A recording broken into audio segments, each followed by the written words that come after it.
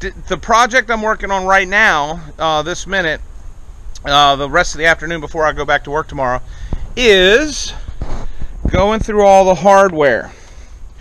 You know, things like these little side plate covers, things like these handlebar clamps and bolts. Okay. I've got an old dog bowl from my boy Job. If any of y'all saw my triathlon videos, you met Job and rest his old soul. He's gone on to heaven. So I figured since I'm not going to eat out of his bowl, I'd go ahead and use it as a as a stainless steel wash tray. So um, I've got you know some metal parts in there soaking in gasoline just to uh, to get the grease off of them. And uh, after I do that, all these parts are going to go in the tumbler.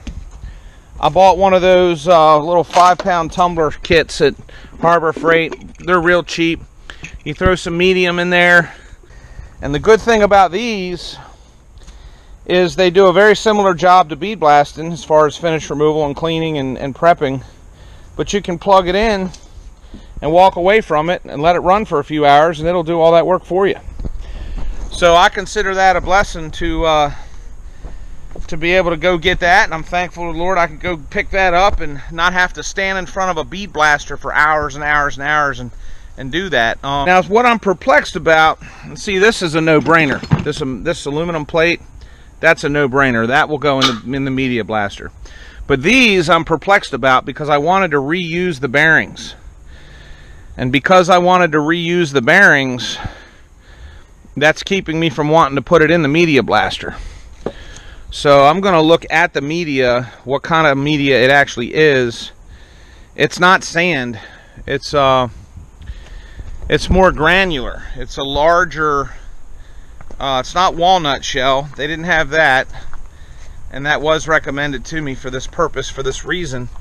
But let's see what I wound up with today. Let's see what we got we got, I don't know if you can see that or not, it's a quarter inch pyramid green unsaturated resin. So I'm going to shut the camera off, use two hands, get some of this out. This is not a commercial for Harbor Freight. So uh, get this stuff out and see what's going on with it.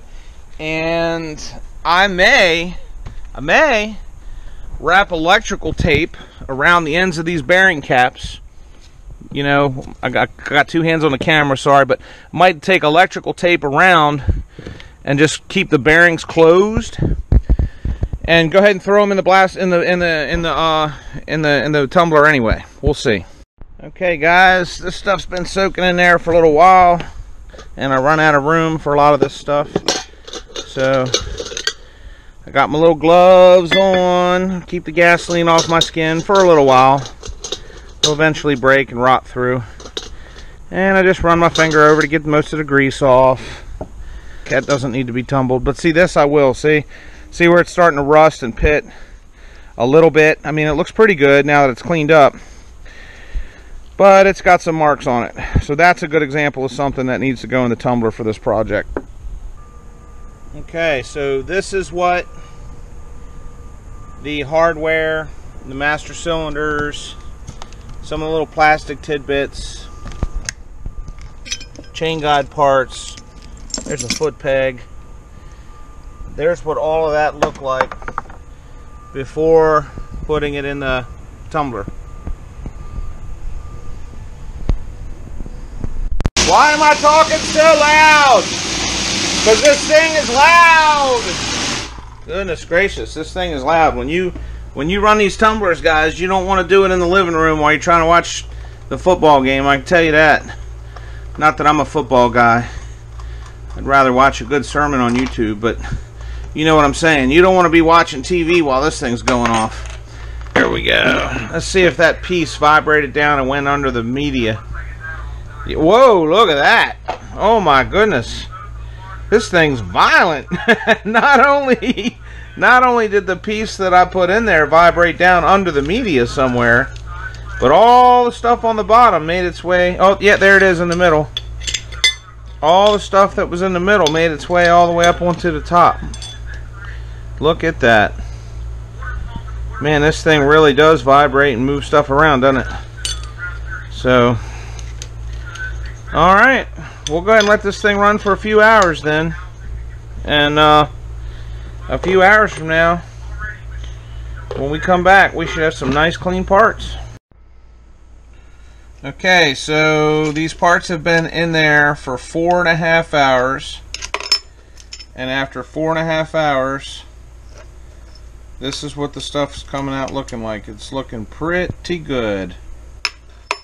By the time I soak a couple of these parts in acetone and get all this powder off of them, they're to look pretty good. Now I'm just getting all the stuff off, rinsing it off in water. And once I rinse all this powder, you know these when I'm done with the water, when I'm done just rinsing it off, it'll go in an acetone bath. And it'll actually sit and soak in acetone until I'm ready to take it out and dry it and paint it. For $50, this little tumbler did a good job.